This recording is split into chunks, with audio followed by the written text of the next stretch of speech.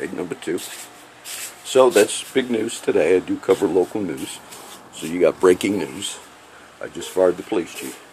You say, John, I uh, look when I retired after 25 years. Matter of fact, they give me a nice watch. I think it's in here. My retirement watch.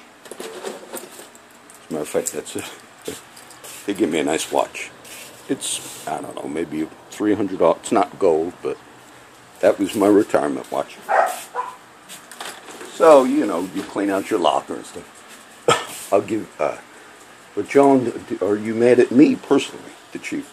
Chief, look, I have ministry, you know now, and uh, I have a friend that lives, you know, my friend Don. And sometimes I just fellowship with the guys. So if you want, I'll even invite you. If I do a little Bible study at Don's, being you're going to be retired, you know, you can just retire. That's how they get fired. He's got his time. If you want to get in the Bible study with me and Don and all, you're welcome to do that. Don has a nice uh, area off the water, as you're well aware of. And uh, actually, they do baptisms. Brother Ray and them have done baptisms. I, look, I'll show you my graciousness towards you. I'd even be willing to baptize you, Mike, Markle. Uh, the scripture is powerful. We are justified by faith, but we practice baptism. It's powerful. There'd be a lot of corruption, you know, having to come off uh, in the and that water, but I do believe in the power of God. So I'll just make that offer. This is number two for today.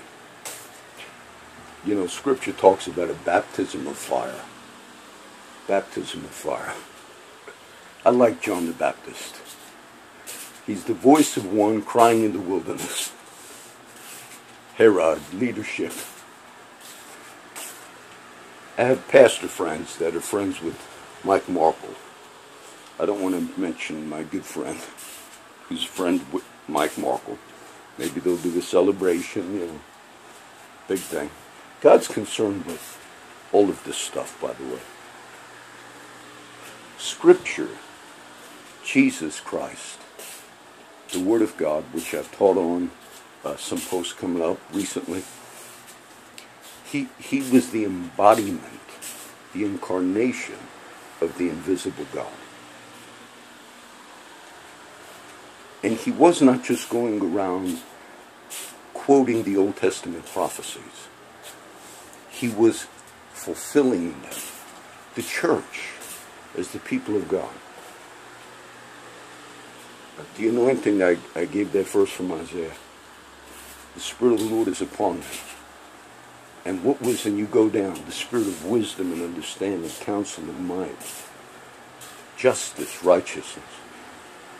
So we as the people of God, we don't just preach Bible words.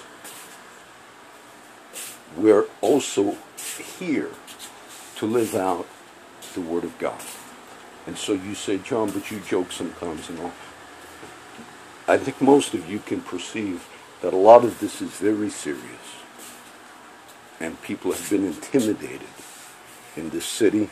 Leadership in general, when you're running organizations, people are intimidated. When fire departments, we used to do bargaining for the Kingsville Fire Department, collective bargaining for your contract.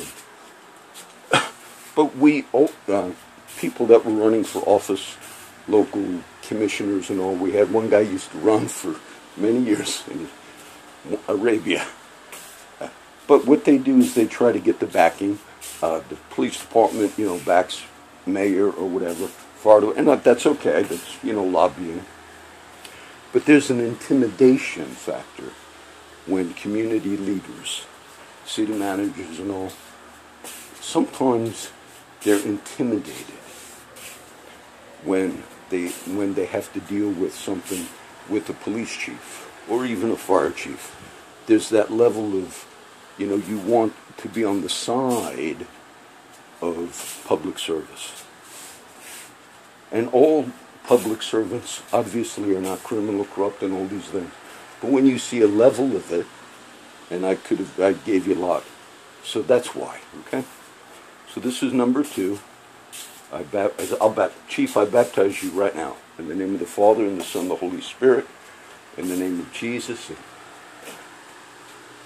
we send that.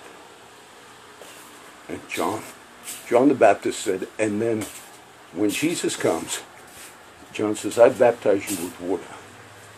He's going to baptize you with the Holy Ghost and with fire. I like that.